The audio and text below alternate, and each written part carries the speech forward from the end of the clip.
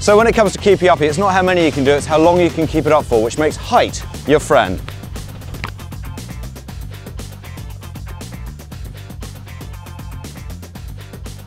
Well, if we ever find the ball, I challenge Sam.